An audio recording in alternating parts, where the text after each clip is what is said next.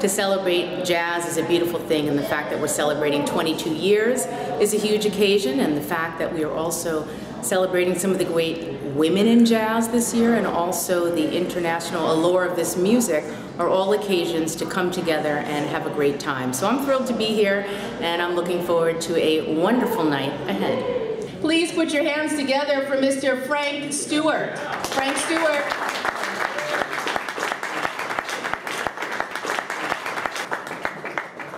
What would jazz look like without the photographic image? So I want to give this award to Richard. He's got to go. He's got he's a working photographer. It's, it's, an honor to receive this award, and I just want to just thank everyone for voting for me, and most of all, just thank uh, Roy Haynes for making this possible. I mean, the best the best compliment I ever got from a musician, which was from uh, uh, Reggie Workman. He said, "I never saw you, and I never heard you, but I'm glad you saw me now. Thank you so much." The next award is the Lona Foote Bob Parent Award for Career Excellence in Photography. I got it last year and I'm passing it on to a great photographer named Michael Jackson. This is the fourth time I've been nominated for this award, and even though in Japan the number four is synonymous with death, I feel revivified by being so honoured. Those of us who insist on following and supporting what we love and value in society, rather than chasing the almighty buck, tend to suffer some and are acquainted with constantly uh, being broke and or broken up with people we love. I have a photo here that was taken 14 years ago at BB King's by the late Gene Martin, a prior recipient of this award, who shot more than 50 covers for Jazz Times. If you're up for it a little later, I'd like to attempt to pickle you all in amber in a similar fashion. Uh, so make sure you prepare your best face and avoid the necessity of my deploying colourful language. Many thanks, great to be here, gratitude to all those who voted me into the JJA Hall of Fame. I am genuinely thrilled to be here. Thanks so much. Tonight we salute this year's Jazz Heroes. Marcia K. Hawker from Portland, Oregon.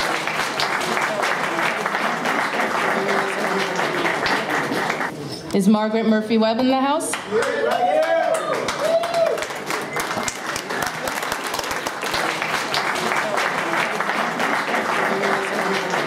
Maurice Robertson from Hartford, Connecticut. Can we have a round of applause?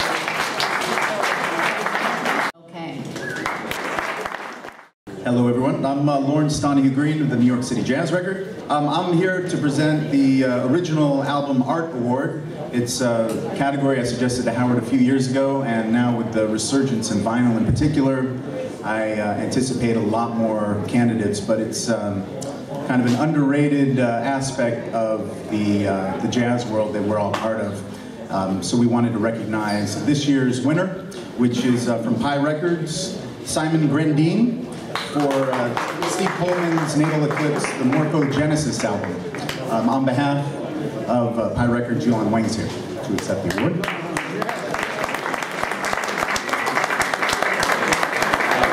Thanks. Oh, to be very short, uh, um, Steve Coleman is a pain in the neck when it comes to this stuff, and I'm working on a record uh, cover with him right now.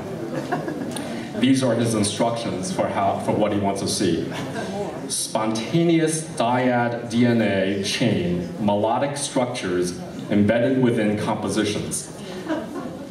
And the three important words are embedded, sonic, and hieroglyph.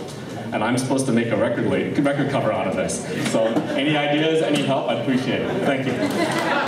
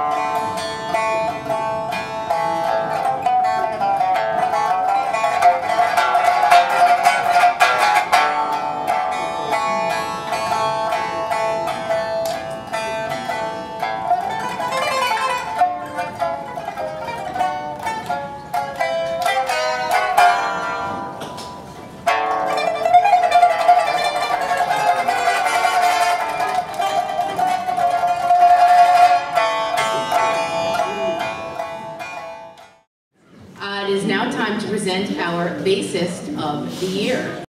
I love her thoughts on women in jazz. She has said, it's the same thing as race in jazz. If people just forget about it and listen to the music, we'd all be cool. Can I get an amen for that? Please welcome the bassist of the year, Linda O. Uh, just to clarify with that quote, uh, I mean, that was a while ago, and it was um, uh, what I meant basically was that, um, of course, you know, these discussions need to be had, but um, at the same time, uh, people would ask me, What's it like to be a woman in jazz? I'm like, Well, are you asking men? What's it like to be a man in jazz? You know, that was kind of my point. So, just a clarification um, with that quote. But anyway, um, yeah, it's a huge honor to be here. Um, and you know, with the day-to-day grind of being a musician, it it is so important to have this community, and it is so fantastic that we're all here and um, really engaged, and we have such fantastic people within the community, really keeping it alive. So, yeah, thank you all so much. Thank you very much. It's a great honor to receive this award. Um, I was in a great company in that category with Akua Dixon and Sara Caswell, and thanks again.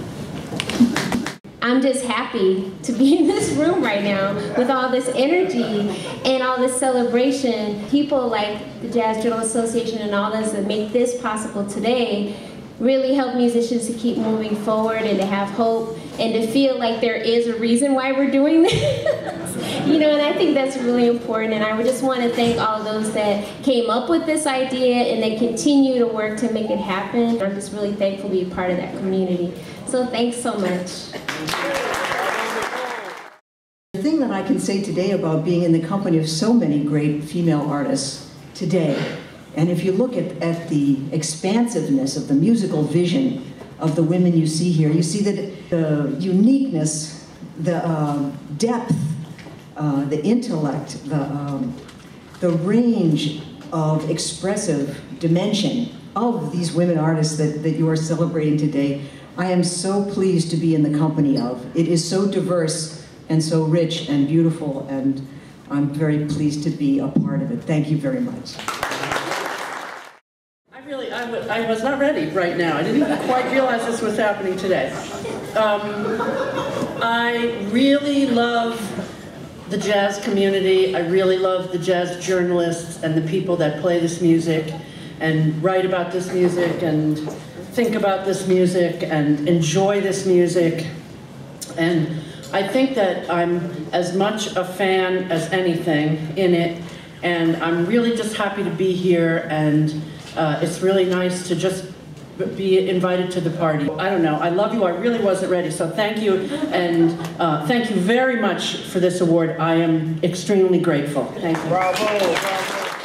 Uh, nice to see you all. Um, and I guess I'm the man who got an award today. Uh, and I'm, you know, I'm, I was actually coming here feeling like I was going to get an award for my all-male band that was voted for by a bunch of men. And I was feeling guilty when I walked in the room and then saw everyone else who came before me, some of whom are dear friends of mine and coll colleagues and collaborators. So I don't feel so bad. And um, and I also encourage the JJA to include more women and more writers of color in their midst as well. And thank you once again for celebrating my work, and I'm very honored to be in this company. Uh, I'd like to thank, of course, the Jazz Journalists Association uh, for, for remembering me and including me in the list. Um, I would like to dedicate this uh, lovely award. It's gotten bigger since since the last time. it's exciting. Uh, to uh, the memory of Mark Murphy and the memory of Joe Williams and the memory of Jon Hendricks. You get a box with this award. Is it what's behind door number one or? Thank you. The box is only for people who think outside the box. I should mention that this JJA Musician of the Year also nabbed this year's Album of the Year for his Honey and Salt, music inspired by the poetry of Carl Sandburg. Please welcome one of the nicest guys around, drummer Matt Wilson. When I was a kid in that area, I had a buddy and uh, we saw Count Basie. We met Count Basie and Freddie Green. In one week, we went to one town and saw Clark Terry. We saw Dizzy Gillespie two days later. Three days later, we saw Oscar Peterson play solo piano at the University of Illinois. This is like a farm town of 2,000 people. But we knew about this music. One of my favorite things was to see the musicians see each other and to see how they would greet each other ask about their families and, and really love each other. I thought that was really great. And I thought, man, it's one thing to get to play like that, but to be part of this kind of community is really something else. So one of my sayings is now, when I play one of those events, it takes an hour to play the set and two hours to say hey to everybody. But that's what's the great part of it. And in closing, I'd like to say some words from Mr. Sandburg with all that's going on. And it's a poem of his called Choose. And it goes, the single clenched fist lifted and ready, or the open asking hand held out and waiting. Choose, for we meet by one or the other. Thank you guys so much. Love you. I'm so pleased to be here on this day of history. In the 20 years that we've been coming to these ceremonies, the JJA has never awarded a Lifetime Achievement Award in jazz journalism to a woman. That all changes today. Pat, Patricia Willard. Thank you, JJA, for this precious award. Uh, I'm, I'm very proud to, to receive it and to be the first woman to receive it. Uh, when I started writing about jazz, uh, there were precious few. I, I, was one of the first, I think. Um, and now there's, there's uh, quite a few good writers, and I'm proud to be among them. And thank you.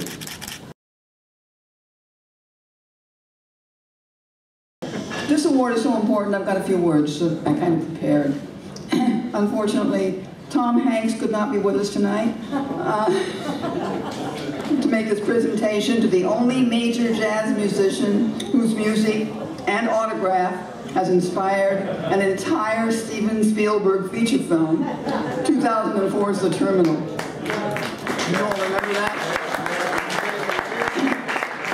Our award recipient appeared in, performed his original music in, and spoke a few lines in that movie. Today, he reinforces his position at the pinnacle he significantly occupies in the famed 1958 Art Kane photo, known as A Great Day in Harlem, with his election by our astute members for the Jazz Journalists Association's Lifetime Achievement Award, Mr. Benny Golson.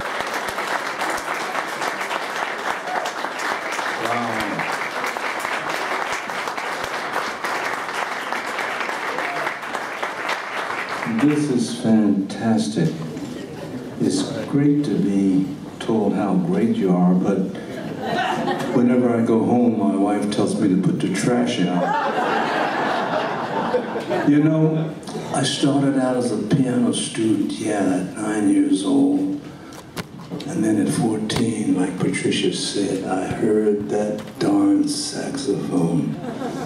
And it was a summertime, and I started to play on the front room with the windows open, and all the neighbors wanted to kill me. I never foresaw anything like this, but the time changes everything, and here I am today. And you know, today I sat there, and so many women came up here to be honored. You know, there was a time when I was growing up, females only played the flute, the cello, the violin, the piano. And we used to say, ah, she plays good for a woman. But sometimes they play better than us guys. And it really just proves that the women have finally come out of the kitchen. Yes. Time changes everything, and here I am. And what is our nexus? Our nexus that connects us is the jazz that we play and that you listen to.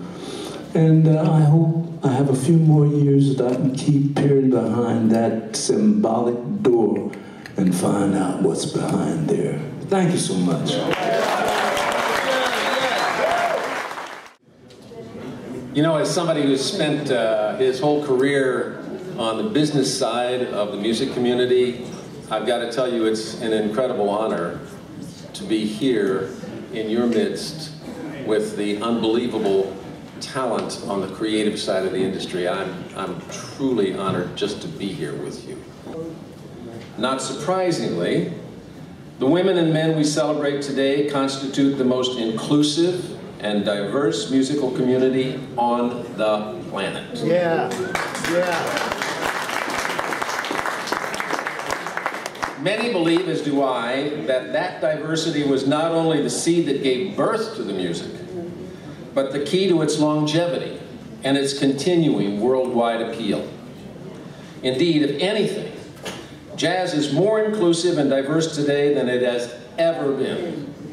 And it bestows on it a character that will continue to nurture the future of this incredible art form. So, please join me. As we raise a glass, hope some of you at least have gotten a chance to get some of that Prosecco, to our Lifetime Achievement Awards winners, Benny and Patricia, all the journalists and artists we honor today, all the jazz heroes nationwide, and all the 2018 JJA Award winners, here's to you.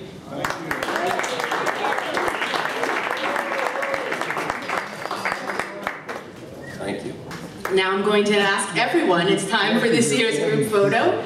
So we would like to direct people to go in front of these two pillars in the front. We want to make sure Howard and Mr. Golson are in the center. And any winners this year also, we're all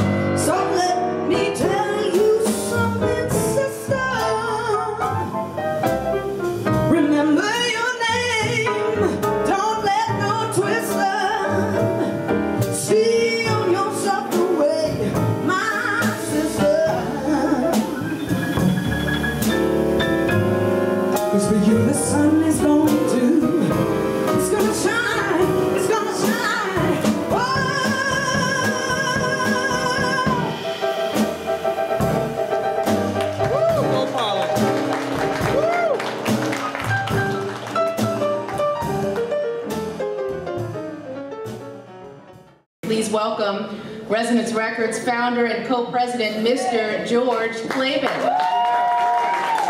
It's really a pleasure to be among people who understand what we're trying to do here, which is to keep this wonderful music and art form alive and available to people, and especially people, younger people, who don't know what jazz is. And you guys too. And so I thank you so much for awarding us, for voting for us for this very prestigious honor, especially considering the labels that we were up against, these uh, giant labels, and we were just as little guys on the block trying to do something good, and we're doing it, and thank you so much. I'm Zev. I'm really co-president of Resonance Records, and I just really wanted to take a moment just to express my appreciation to this gentleman to my left, George Klabin, who has done so much for the music. He has given me life, but on behalf of all the families of the artists on our labels, those past and present, uh, we feel there's really a mission with the great work that we're doing, and I want to thank everyone from the Jazz Journalists Association who lends your support to our projects. There's so much great music that comes out, and it really means a lot to me and to George, and I just wanted to say with this whole room how much I love you, man. You give me life.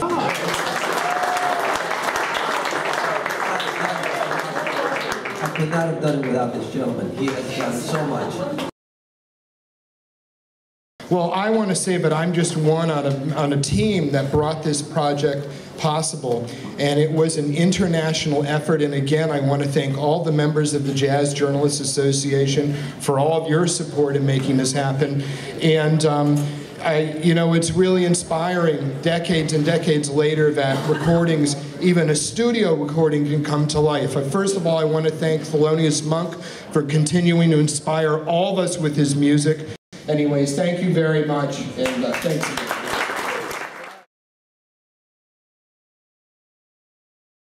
This is a note from our publisher, Mr. Frank Alkyer. On behalf of everyone at Downbeat Magazine, we'd like to thank the Jazz Journalists Association for this tremendous award. Jazz journalism is our craft. The writers, photographers, editors, and administrators of Downbeat put tremendous care, sweat, and creativity into this work. It's what we love to do. Never forget, jazz journalism is a profession. It matters, and it's not easy. Thank you to the JJA for shining a light on the great artists who make this music and the professionals who work so hard to cover this amazing zine. So thank you to all of you that have graced our covers, our features, our master classes, our reviews, and all the rest. Keep doing it. Thank you.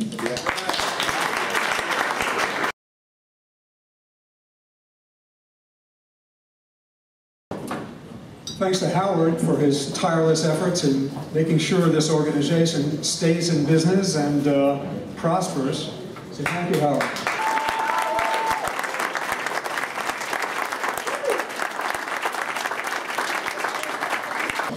Uh, writers, we explain this music, we love this music, we put it in context, and we live and breathe it.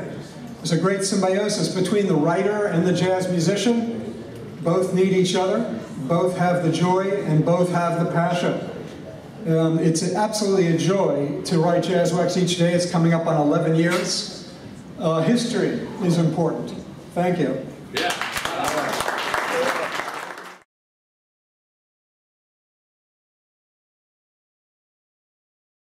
over the last year, I've been writing my ass off. Um, and that doesn't even count the work that I put into my book, which is not available at the bar. Um, but if you read my work over the past year, you had to find it somehow. And this is a position that most of us who are writers and, and journalists, members of the JJA, most of us are in this position. And that's become more the case and more the case. And you know, musicians know what I'm talking about because the struggle to get your stuff out and noticed, you know. Um, so my, I, I want to leave you all with a kind of um, exhortation um, on behalf of all of my colleagues. You need to find this work, and when you find it, and if it speaks to you, you need to share it. You need to tell people about it. You need to help us get the word out because you're not only helping the musician, you're also helping the state of jazz journalism and ultimately the, the condition of this music. Um, this is all incredibly interconnected. You know, and if, if, if you don't have a Twitter account, if you don't have a Facebook account, fine. Take your copy of Downbeat or Jazz Times or whatever it is, um, share it with somebody and say, hey, check out this review or check out this feature. I thought this was really cool. Did you see what uh, this person wrote about this album? Um, if you see a post that Marc does on Jazz Wax, share that shit. Yeah. You know, it's it's really really important because uh, the the engine of spreading the word about this music is in this room, and it's and it's the people that you know. When I was a young man, growing up in the west suburbs of Chicago, I first heard a show called Straight No Chaser on WNIB. You guys know Chuck Mitchell used to be the record? It was Chuck Mitchell and Neil Tesser. And then I found out this guy was a writer and I became a huge fan. And then I got into the radio business.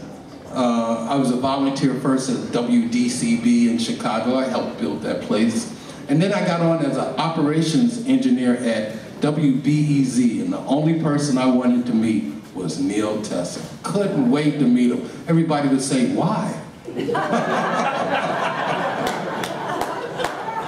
Ladies and gentlemen, here is the winner of the Willis Conover Marian McPartland Career Excellence in Broadcasting. My buddy, your buddy too, Kurt.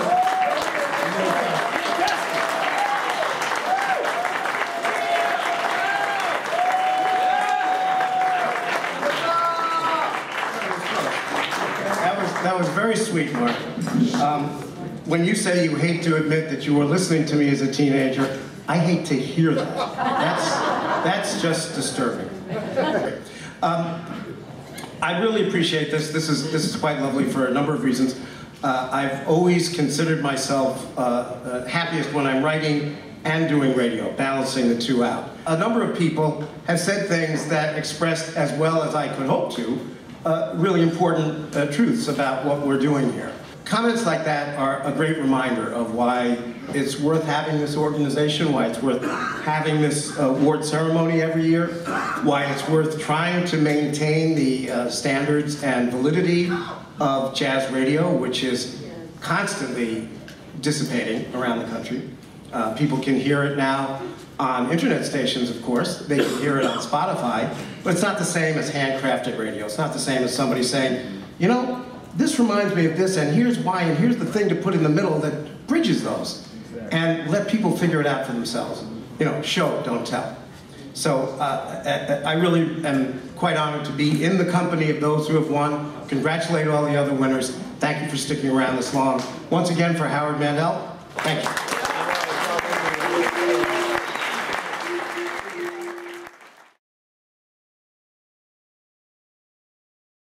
We like to acknowledge people that um, some of you may know, many of you may not know, but should know. Um, the Jazz Hero Award for New York City this year is a gentleman by the name of Bruce Lee Gallanter, who is, uh, plays a very significant role in New York City. Just want to introduce you to him if you're not aware of him. He runs something that we uh, once all knew called the record store. And um, it's still a very vital uh, community place for everyone to gather. Bruce provides um, something that is so significant that you cannot get on Spotify and all these other things. He, you can go into his store, tell him what you like, and in the old tradition of the record stores, he can lead you to something else that you would not have known about. Um, and he started out with a monthly newsletter that suddenly became a bi-monthly and then a weekly newsletter. Uh, all you got to do is sign up to his newsletter and find dozens upon dozens of reviews of all the new CDs, as well as uh, vinyl records that he uh, reviews that you can discover for yourself. He has now an international reputation. People make uh, trips to New York and walk out with hundreds of dollars worth of uh, vinyl records, bags full of them. His uh, lease is up in October of this year, so I heard, so I hope that he continues the tradition. Um, but without further ado, I, I really would like to, um, all of us to give a standing ovation to uh, my jazz hero, and hopefully yours, Bruce Lee Gallanter of the Downtown Music Gallery.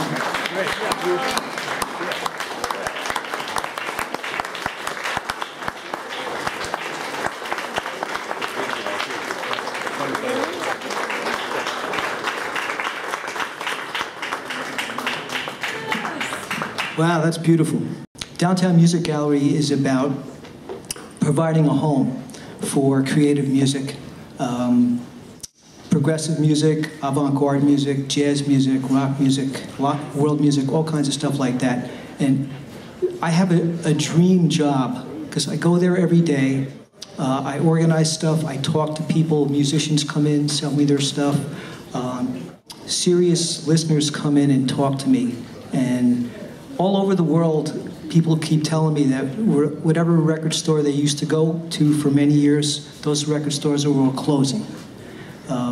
Because people listen to music on their phones, uh, they go to Spotify and YouTube and places like that where musicians don't get paid, uh, which is sad.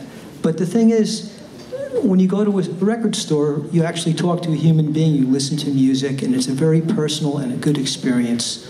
Um, and, and, a lot of my favorite things that ever happened are in a record store.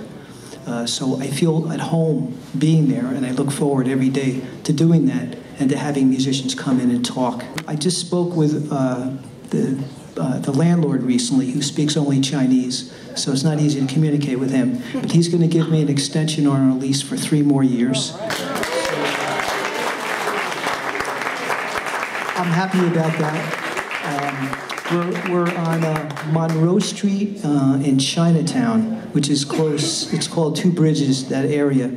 Uh, I feel honored to be in a, in a room with journalists who I love and musicians who I love.